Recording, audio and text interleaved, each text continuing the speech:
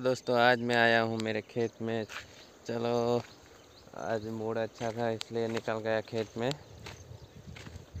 तो मैंने कपास की खेती की हुई है। देख सकते हो आप ये कितने बड़ा कपास है।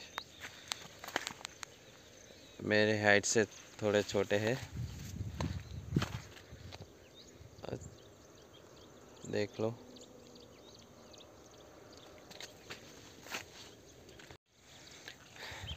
ये कपास की खेती लगाई हुई है। मैंने करीबन दो एकड़ में कपास लगाया हुआ है। देख सकते हैं आप। ये कॉटन का बीज भी लग गया है। देखो।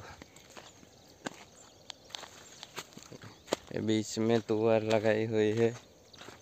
एक क्यारी।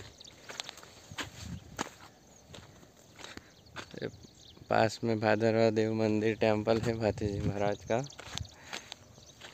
और ये देखो कितना बड़ा हो गया कपास। एक महीने में तो कॉटन बाहर आ जाएगा।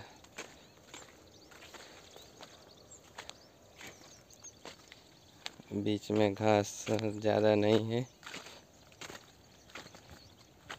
खेत की बुआई कर खरपतवार बहुत अच्छे से हो गया है।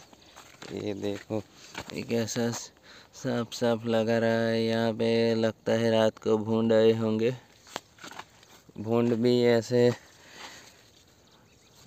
इसको खा जाते हैं। कुछ खाने को अभी मिल नहीं रहा है। मक्का वक्का सब करते नहीं है। भूड के त्रास से इतना हो गया है। इसलिए देखो।